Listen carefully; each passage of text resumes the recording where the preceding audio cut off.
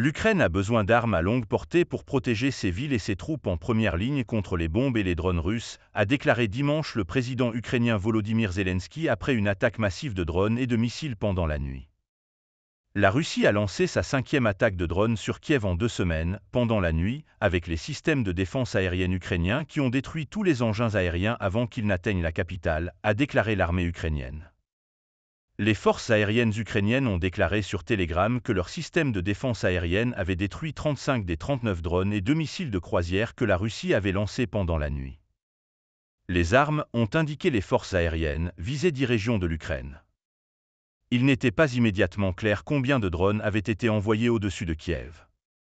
Il n'y a pas eu de victimes et aucun dommage important n'a été signalé, a déclaré Serhiy Popko, chef de l'administration militaire de la capitale ukrainienne, sur Telegram. Rien que la nuit dernière, l'armée russe a utilisé presque 40 Shahed contre l'Ukraine.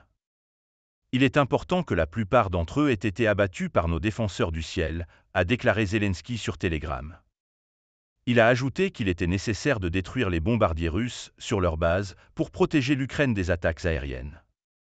Nos capacités à longue portée doivent être une réponse appropriée au terrorisme russe. Tous ceux qui nous soutiennent dans cette direction soutiennent la défense contre le terrorisme, a déclaré Zelensky.